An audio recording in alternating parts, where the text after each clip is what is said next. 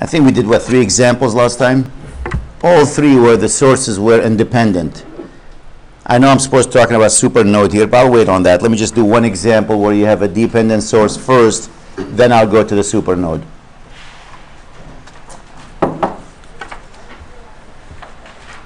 So let's look at this circuit. I have a source of 15 amp, independent source.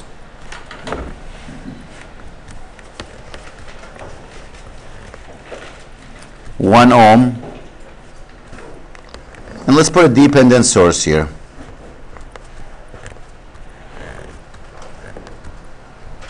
And this is a dependent current source pointing upward with the value of 3 times I. Bless you. There's a resistor here of 3 ohm. There is another resistor up there of 2 ohm, and this current coming down is I. So this value of the current source depends on that current.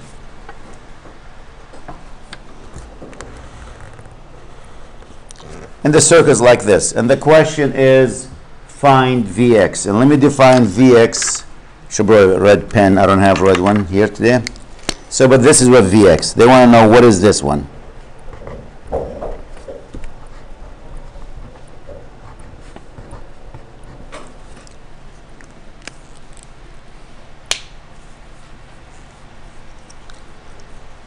So when I look at that, not counting the ground, because there's one node that's the ground, that's this node. All of this connected together. This is your ground. Not counting that node. So all of this is the ground. If you don't count that node, how many nodes do you see left there? Two.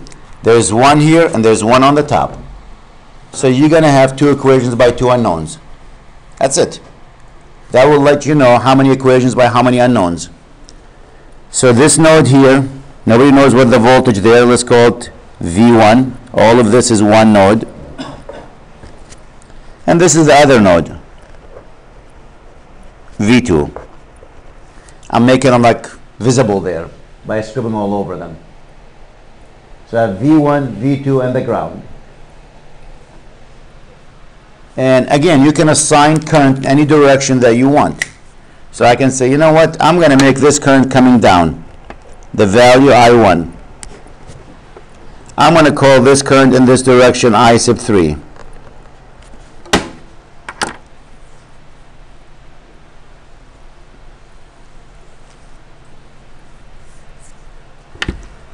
I hate all that writing on it. It looks ugly, you know? All these here.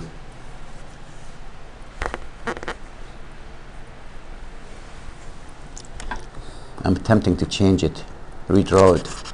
It bugs me.